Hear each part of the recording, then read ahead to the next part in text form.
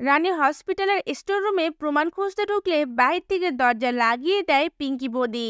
রানী কলেজে যাওয়ার সময় যখন ডক্টর ভূমির সাথে কথা বলছিল, তাদের সকল কথা আড়াল থেকে পিঙ্কি বদি শুনে ফেলে। আর পিঙ্কি মনে মনে ভাবতে থাকে, তার মানে ওই ডাক্তার রানীকে সাহায্য করছে এই পুরো ব্যাপারটাতে? কিন্তু রানী কাকে এক্সপোজ করতে চাইছে আনিশাকে? আমাকে এই বিষয়টা আনিশাকে জানাতে হবে। এরপর পিঙ্কি বদি আনিশাকে ফোন করে। আনিশা পিঙ্কি বদির কথাগুলো শোনার পরে তাকে বলে ওঠে, পিঙ্কি বদি, তোমাকে একটা আমার কাজ করে দিতে হবে।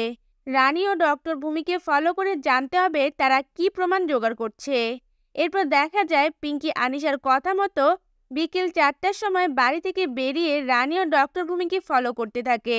রানী যখন প্রমাণ খোঁজার জন্য স্টোর রুমে ঢোকে, তখন বাহির থেকে আনিশার কথা মতো পিঙ্কিবতী স্টোর রুমের দরজা লাগিয়ে দেয়। তা ভিওয়ার্স রানী কি পারবে?